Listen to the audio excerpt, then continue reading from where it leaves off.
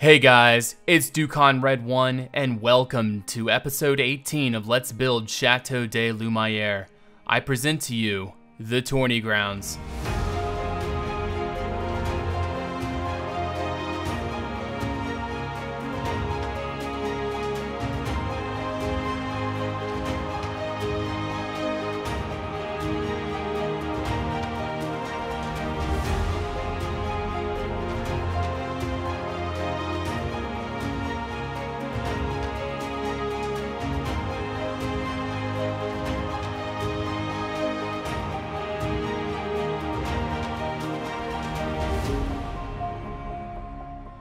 10 streams, 55 hours of building, and a whole lot of blocks. I am proud to say we are finally finished this corner of the plot. While my production pace may be slowing down rather significantly due to my real life schedule, I want to tell you guys that I am still here and I will continue to be here. Just because I'm not here on YouTube doesn't mean I'm not here. Eh, you guys can find me on Twitch once a week on usually Saturdays and sometimes Sundays or any other days that I might have off.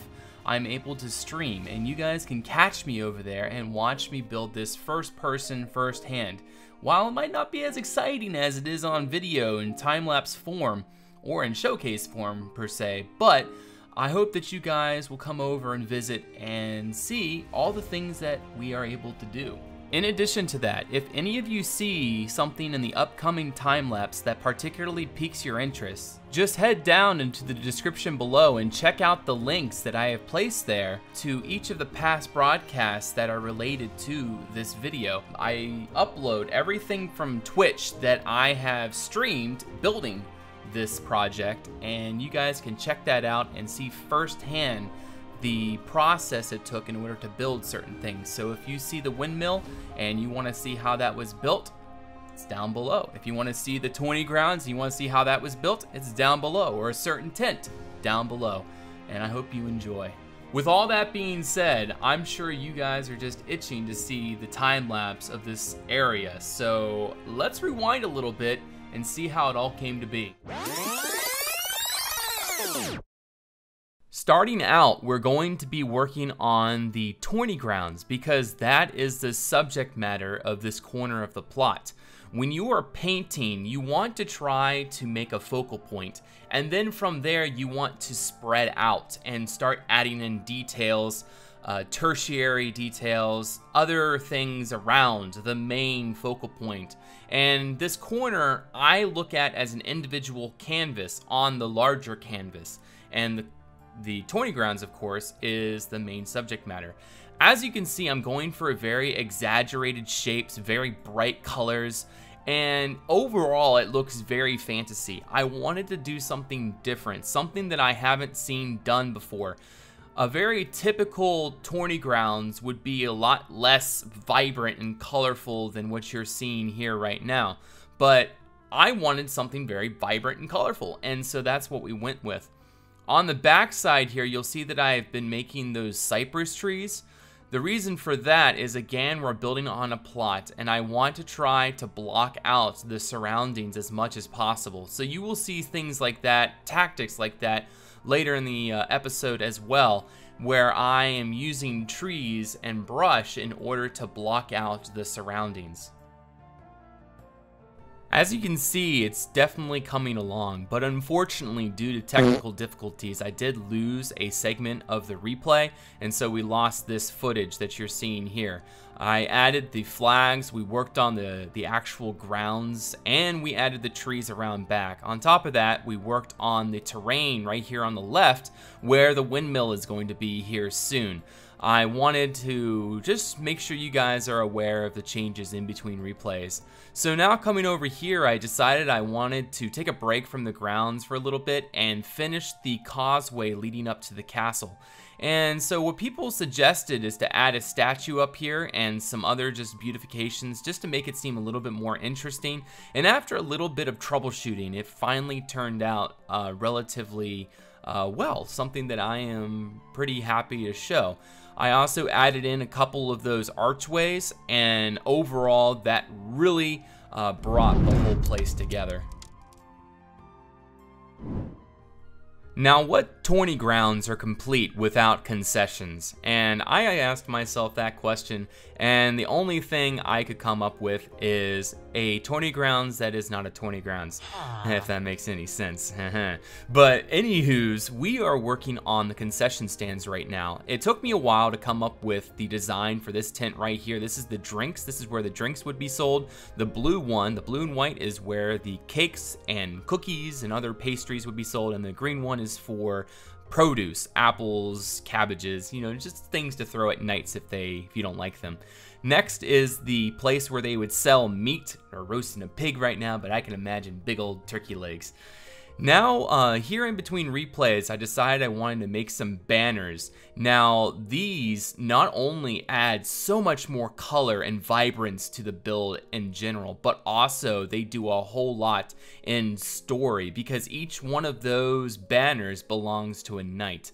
Here, the red tent that we're making is the gambling tent. This is where people would place their bets on certain knights, and then that's how things would progress from there. At this point, we're just filling in some miscellaneous details before moving on to the next and my personal favorite part of this episode. So here we're at the windmill.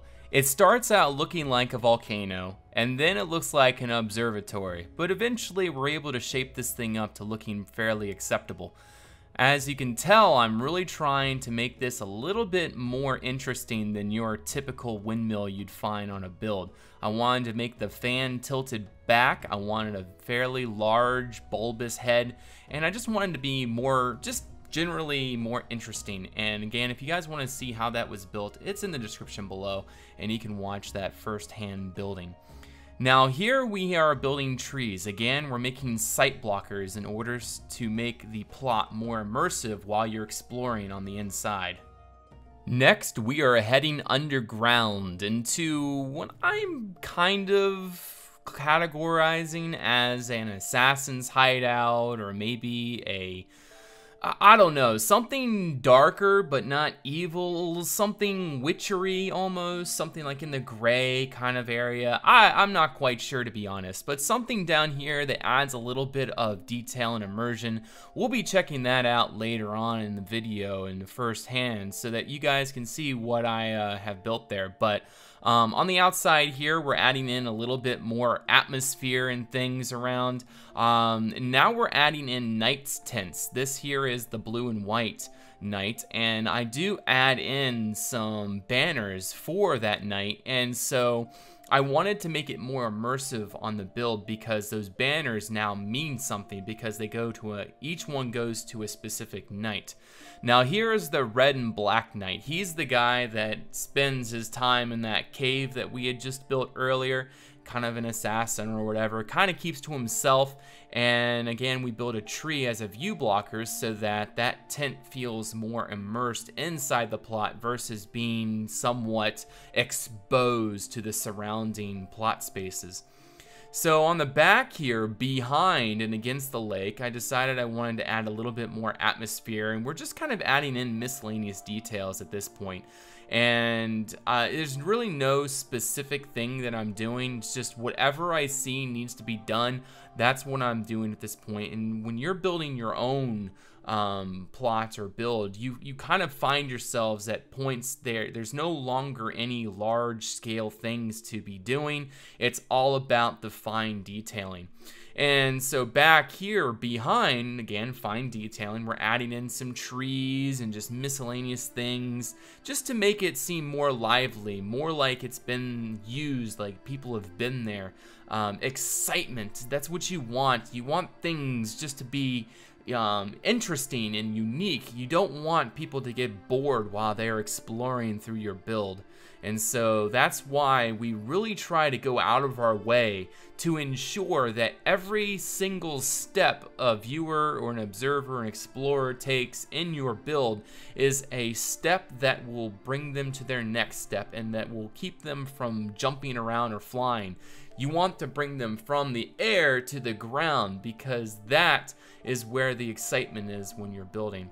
So here we're doing the interior of the windmill as you can tell and we've been working on mechanisms and gears in order to make it work. We'll be doing a more in-depth showcase of that later on but I'm just adding in little bits of detail here and there to make it really uh, pop out. And so at this point, we're just finishing up the detailing, just making, um, just filling space. We want this corner to be done. At this point, I am just kind of sick of building and I want this to be done and out of the way. So as you can tell, we changed that uh, potato field into an apple orchard. We added that yellow and white tint and then we make a citrus orchard right here. So that about sums it up, guys, and uh, I uh, hope you enjoyed the time lapse. Now let's go ahead and do a walkthrough. Right, guys. Well, there we have it. Lumiere is finally one corner closer to being finished. I am so happy to be done this episode. This took forever. Uh, like I said, 55 hours of building in 10 streams. For me, that is a lot of time. That is 10 weeks of building almost. Well, maybe nine or eight weeks or so, two, two months. I don't know. It took me a long time to build this and it was crazy. Um, but so happy that we were able to get it done and that we were able to uh, finish this in a somewhat timely manner. Um, next episode is going to be on the chapel over here. The chapel is going to be a very um, interesting part and more tutorial based. Unfortunately, I'm not able to be very tutorial focused when doing such large idea um, uh, building like this. But in the future, when we're doing specific structures, say the chapel or the Lord's residence or things of that sort, I try to be more tutorial focused and show you guys the process and how it was done. Also, a lot of you are going to be saying that this looks really, really clustery right now.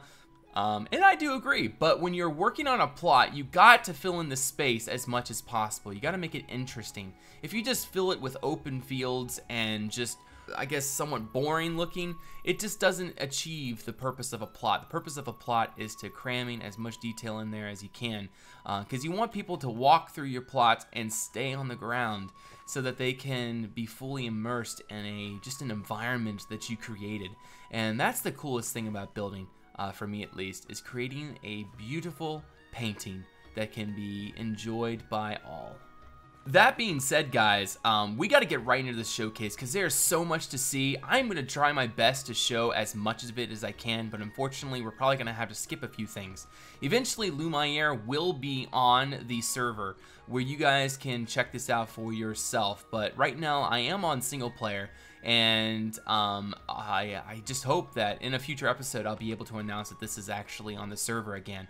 But until then, um, you guys are just going to have to settle with video form or maybe just watch my streams and see uh, the build more in depth and close up for yourselves.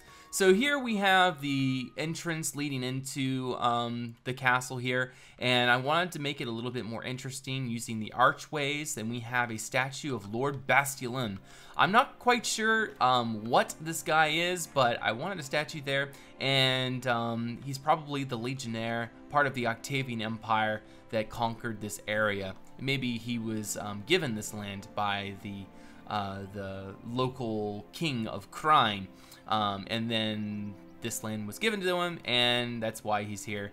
He's the patriarch of the castle, I guess.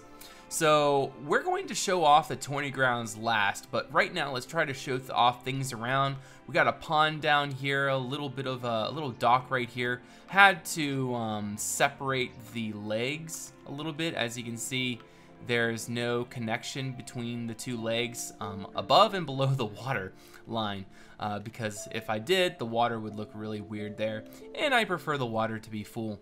A little place to sell some fish jerky, and then um, that's about that. A couple little elven ruins back here. Again, remnants of the elven, the former elven inhabitants of this area. So I went ahead and changed to Conquest of the Sun because you guys will definitely be able to see so much better in this shader versus the other ones as it's a little bit too bright or too dark, etc. And um, Conquest of the Sun has a very good middle ground. While it might not look as good, um, or as extreme, it still does uh, achieve the purpose. So here we have the yellow and white tint, um, just a random little tint that again is for one of the knights that is here at Lumiere. This is his uh, banner right there. The yellow does not match that yellow, but oh well, it works. Um, as you can see, we removed the uh, the potato field that used to be here. Did not like it, looked a little bit weird. So we added in some apples and I thought that turned out so much better thanks to the suggestion from Uminum. Um, adding in orchards was a really, really good idea. Here's an apiary right here where bees um, would be raised and farmed for their wax and honey. We do have a chandelier over there which makes candles and other wax objects and um, that would be a fairly major part of uh, any medieval um, place. And so we'll be getting to that in a future episode when we work on that corner of the plot. A little uh, shed down here for a cart, a bucket, and tools for the apple orchard down here. And then uh, again, this is one of my favorite parts of the plot. When I'm walking down this uh, road right here and we see that cherry tree, it does look a little extreme in color, but it's something unique and interesting, and I really do like the overall atmosphere that it provides. Here we have an apple stand in dedication to Permarin. It's just a little joke that we have over on Twitch, and uh, Permarin is one of my viewers, and it's just been like a joke or like a, a thing, I guess, ever since Seabridge. So that was a long time ago, and I decided to add a uh, a memento, a uh, dedication to Permarin there. Permarin's apple stand. Here we have a little uh, citrus orchard, a little place for some uh, oranges with um, a nice neighborly flock of crows. Um, testing, taste testing, and making sure that they are um, suitable for human ingestion or human con consumption. That sounds a little bit better, right? Something like that. So let's go ahead and go over here real quick and we're gonna showcase this tint up here. This is the red and black tint, uh, red and black knight. Um, this was a suggestion from Umanum. Uh, he wanted a red and black knight, and I wanted to make it a little bit more interesting than just being just a normal medieval tint, so I made it a Mongolian type yurt and then a um, little bit of a flare on top. Here we have the place for a squire.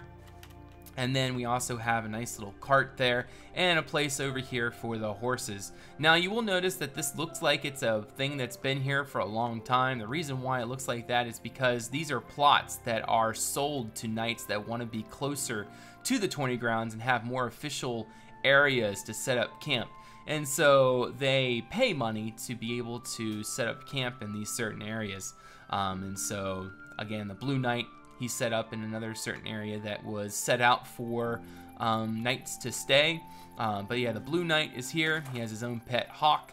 Come inside, a little cage, and just random things. Very cramped, but you gotta do what you gotta do when you are on the mobile, if you know what I mean. So, going up the hill here, leading up to before that, let's go check out the cave.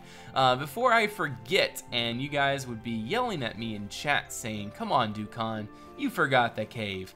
So here is the cave. Now, I'm not fully certain what the backstory of this cave is.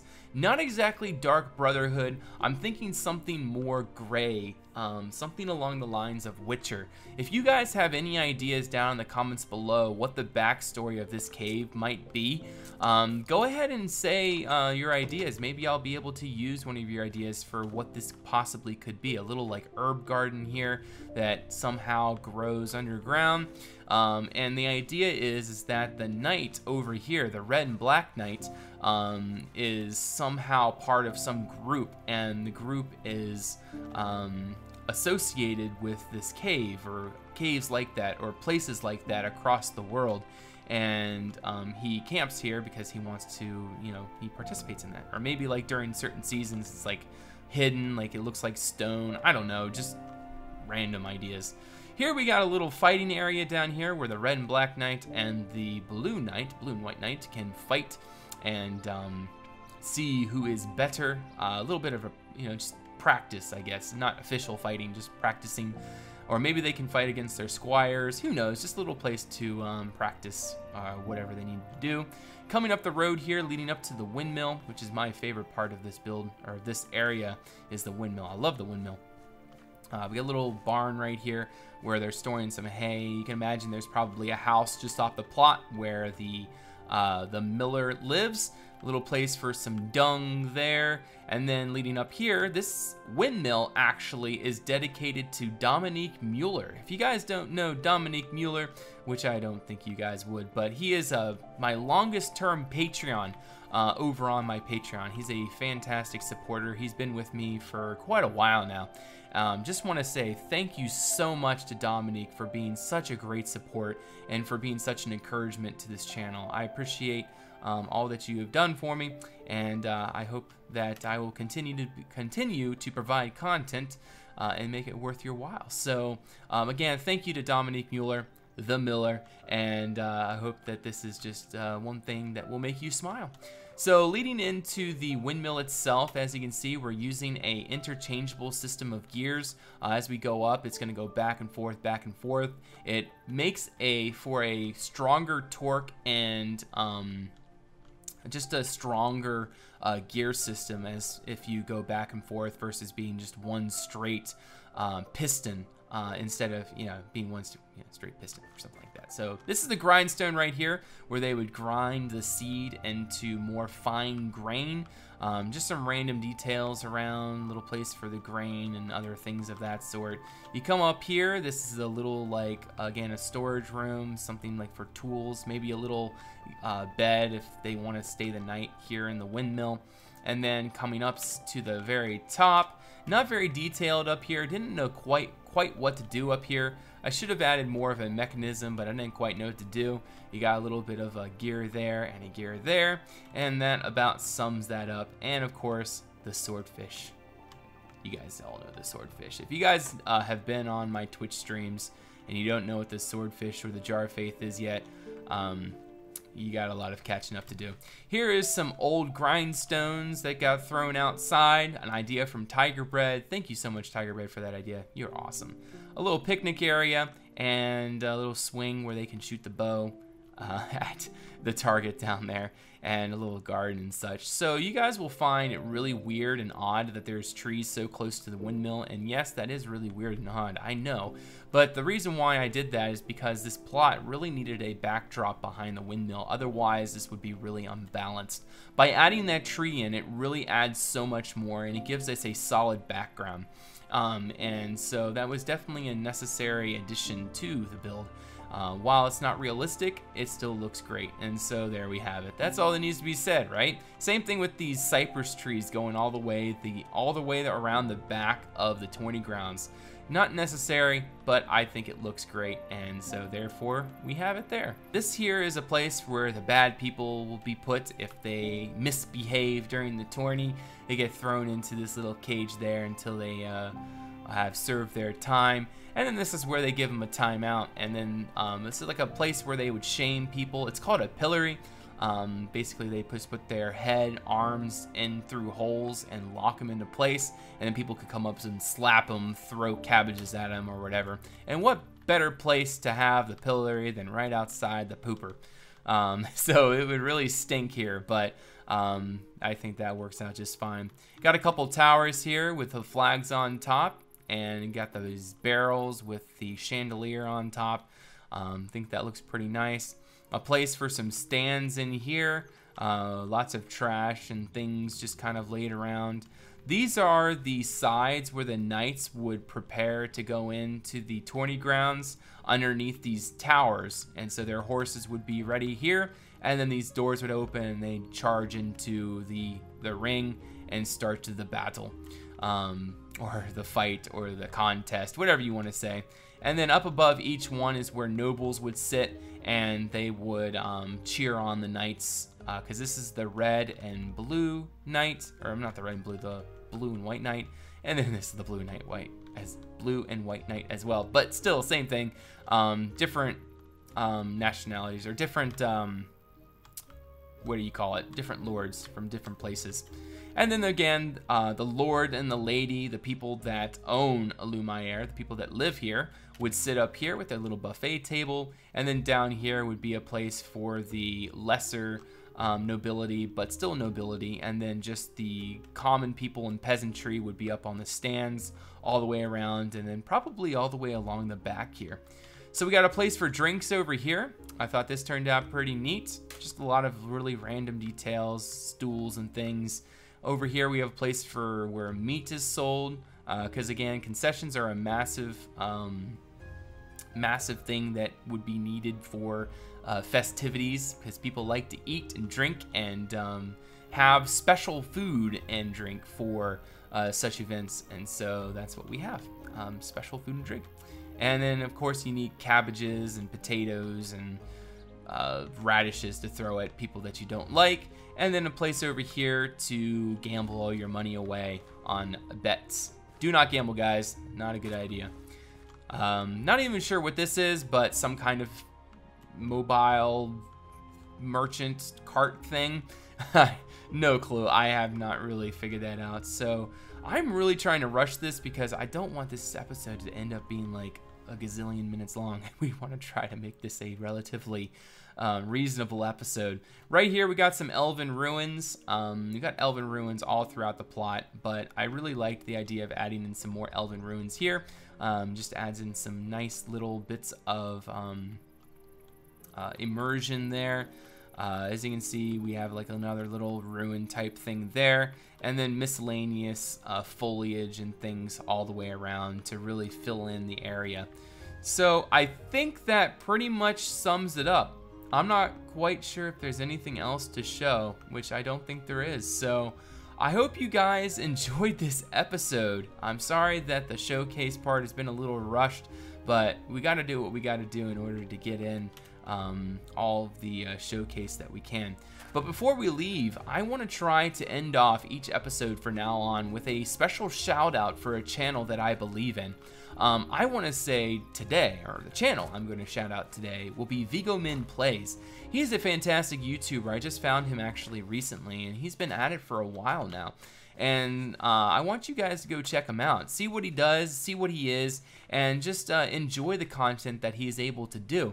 Um, he's doing a very uh, neat little castle, and he's also working on a um, uh, a town right now, which I think you guys will definitely enjoy. in Conquest Reforged um, at that. So there is a lot to see, a lot to do, and definitely worth a subscription if you guys are interested and uh, seeing some more great content. Because unfortunately, I'm not able to be here as much anymore.